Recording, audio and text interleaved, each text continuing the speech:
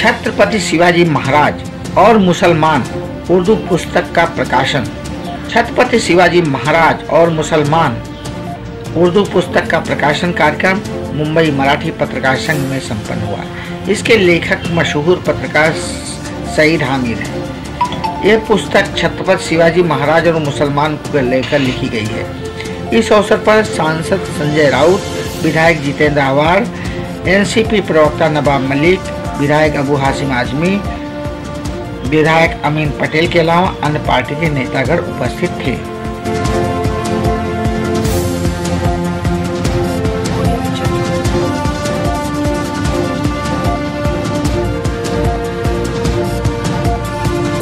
माहौल fake history के ज़रिए किया जा रहा है। तो उसका उसका जो क्या सच है हिस्ट्री का क्या सच है, ये हमने कोशिश किया है। ये और ख़ास तौर से शिवाजी महाराज छत्रपति शिवाजी महाराज, इनकी शख्सियत को लेकर के, इनके राज को लेकर के, इनकी हिस्ट्री को लेकर के हमेशा गलत फहमी फैलाई जाती रही थी।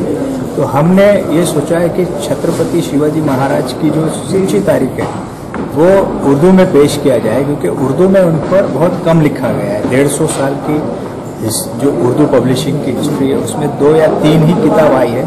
तो हमने ये शुरुआत की है कि छत्रपति शिवाजी महाराज जो धर्म निरपेक्ष राजा थे और किसी वर्ग विशेष के खिलाफ या फेवर में नहीं थे उनकी सच्ची तारीख हमने आज ही बुक में छाप के इसको पहली बार पब्लिक उर्दू पब्लिक में पेश किया सही जी आपने नाम रखा है छत्रपति शिवाजी महाराज और मुसलमान।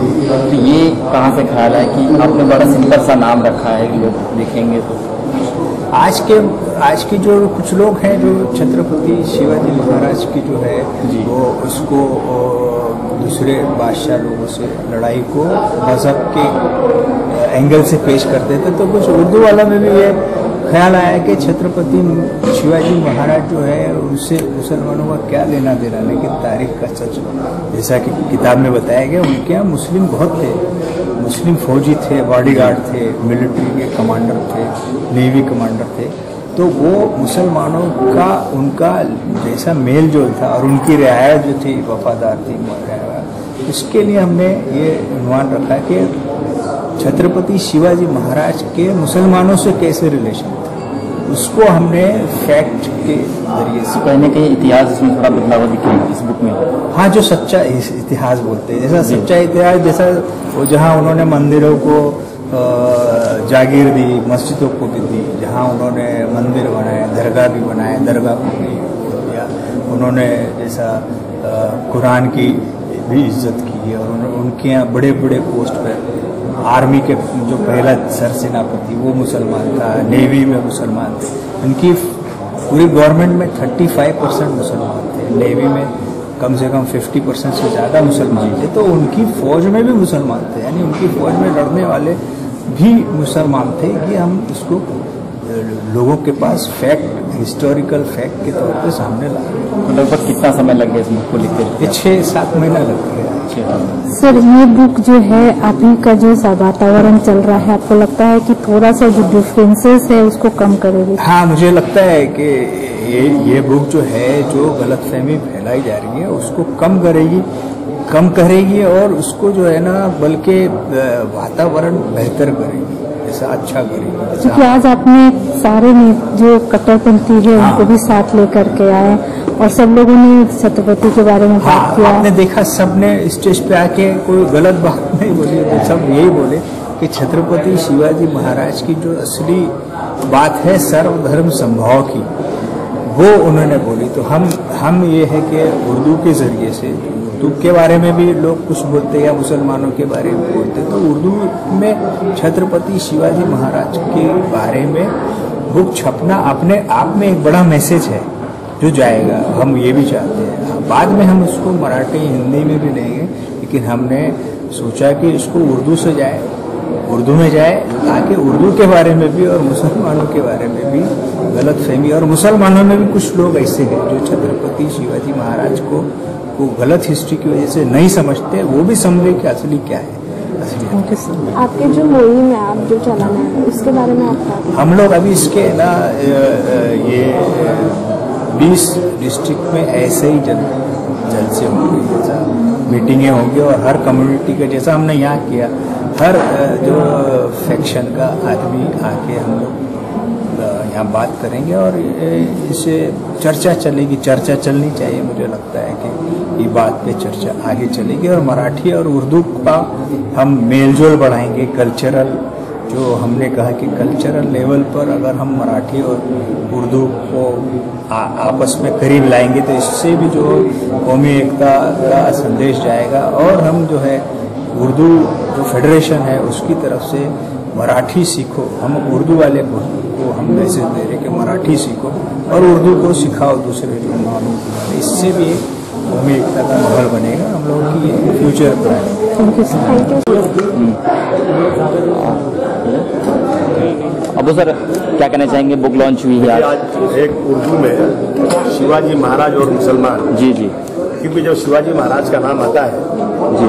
तो ये शिवसेना के लोग भगवा ब्रिगेड के लोग जी जी। बड़े पे त्रिशूल लेकर के उसमें भगवा झंडा लगा करके तिलक लगा करके ऐसा डराना माहौल पैदा कर देते हैं जैसे कि शिवाजी महाराज की शिवाजी महाराज के राज में मुसलमानों की कोई इज़्ज़त ही नहीं थी। जबकि शिवाजी महाराज की इस किताब को पढ़िए गोविंद पंसारे साहब की किताब को पढ़िए और हिस्ट्री के पन्नों को पलट कर देखिए कि शिवाजी महाराज के राज में जितने भी फौज के सरबराह थे थे जितने भी सिपाही थे जितनी अहम पोस्टें थी वो सब के सब मुसलमानों के साथ थी। जी, जी। उनको भरोसा था कि मुसलमान गद्दारी नहीं करेगा। शिवाजी महाराज जब भी कभी जंग पे जाते थे तो एक बाबा थे सरवर बाबा से जाकर इजाज़त लेते थे।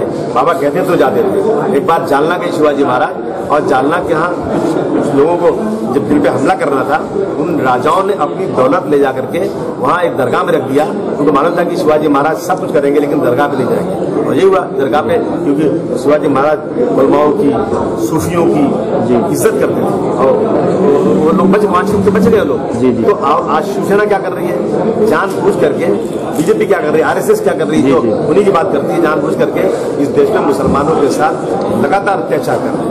कहीं ना कहीं बहुत वक्त लग गया इस बुक को आते आते।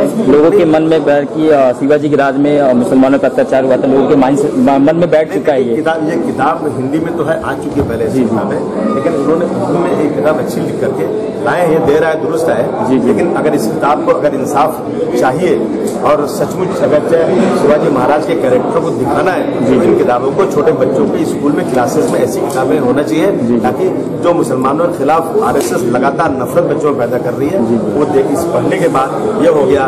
उसके बाद सुभाष चंद्र बोस जी की आज़ाद हिंद फौज में मुसलमानों का क्या रोल था? हिंदुस्तान में उन्नीस सौ सैंतालीस एटीन फिफ्टी सेवन में जो गदर हुई जो लड़ाई शुरू हुई अंग्रेज़ों से उसमें मुसलमानों का क्या रोल था? इसमें कोई मेहरबानी या कोई कोई, कोई ज़रूरत नहीं है। सिर्फ़ सच्चाई जो थी हिस्ट्री के पन्नों की वो छाप करके स्कूल के बच्चों में किताबें बांटी जाए। वो पढ़ाया जाए तो मुझे लगता है कि जो नफरत पैदा करने की कोशिश कर रही बीजेपी वो नफरत में कुछ कमी हो पाएगी थैंक यू सर यूपी के सीएम ने जो लाइट बंद कर लाइट बंद कर। बंद करो लाइट इसमें ही बंद कर सेंट्रल बंद कर खराब हो जाएगा भैया। सेंट्रल बंद शिवाजी महाराज की तुलना किसी से नहीं हो सकती। चाहे प्रधानमंत्री हो चाहे राष्ट्रपति हो चाहे हम छत्रपति शिवाजी महाराज एक ऐसा राजा थे जो प्रजा को अपनी संतान से भी ज़्यादा सही मायने में हिंदवी स्वराज्य स्थापन करने के बाद भी सेक्युलर रहे। तो राजनीति के लिए राजनीतिक फ़ायदे के लिए छत्रपति जी का इस प्रकार से किसी के साथ तुलना करना ठीक नहीं। बाला साहब ठाकरे शिवसेना प्रमुख थे।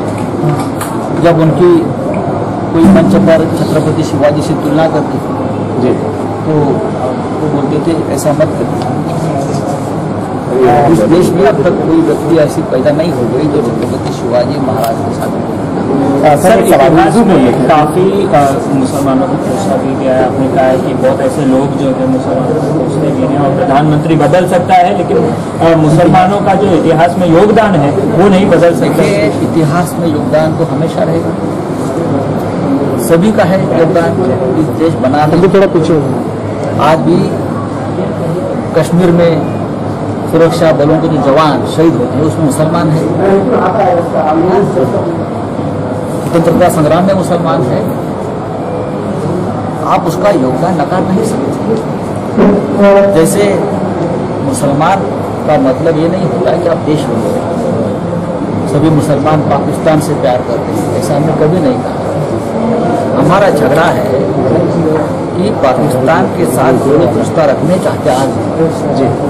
और आज ये पाकिस्तान को अपनी कर्मभूमि मानते हैं यहाँ रहने के बावजूद भी हमारा झगड़ा उन लोगों से। सर उर्दू को उर्दू जिस तरह से ये पहल की गई है कहीं कहीं ऐसा नहीं लगता कि ऐसे मोमेंट है जब माहौल ऐसा हो मॉब लीचिंग है उसके बाद जो रंग देश में चल रहा है ऐसे दौ, इस दौरान अगर उर्दू को लेकर एक पहल ये की जा रही है किस किस हद तक कामयाबी भाषा आप अपने नज़रिए से। देखिए भाषा है। जी। हम हमारे बच्चे अब फॉरन लैंग्वेज पढ़ते हैं। जर्मन पढ़ते हैं फ्रेंच पढ़ते हैं इंग्लिश पढ़ते हैं। ये देश की भाषा है। हिंदी फ़िल्मों की भाषा। है तो भाषा कभी मर नहीं सकती। सर राफेल के जो अ, फ्रांस फ्रांस के जो तत्कालीन राष्ट्रपति उनका कहना है ये गवर्नमेंट टू गवर्नमेंट डील्स है इसमें हमारा कोई रोल नहीं है क्या कुछ कहेंगे आप इस विषय को लेकर के? अगर गवर्नमेंट को तो आपके एक्स प्रेसिडेंट ने रहस्य जो जो रहस्य था? उसका विस्फोट कैसे कर दिया? मैं मानता हूँ अगर गवर्नमेंट तो गवर्नमेंट है लेकिन बात एग्रीमेंट की नहीं है एमओयू की नहीं है। जी। बात है कि राफेल की कीमत अचानक तीन गुना कैसी बढ़ी। बात यही है आप किसी को ठेका दिया उस बारे में झगड़ा नहीं है। किसी न किसी उद्योगपति को यह काम करना ही था। लेकिन ऐसा उद्योगपति ऐसी उनकी कंपनी है जिसको डिफेंस के बारे में कोई अनुभव नहीं है। हिंदुस्तान एरोनोटिक लिमिटेड के साथ करार होने वाला था। वो टूट गया। और जो राफेल की डील है, पहले वाली जो उनकी कीमत है, वो कैसे बढ़ गई?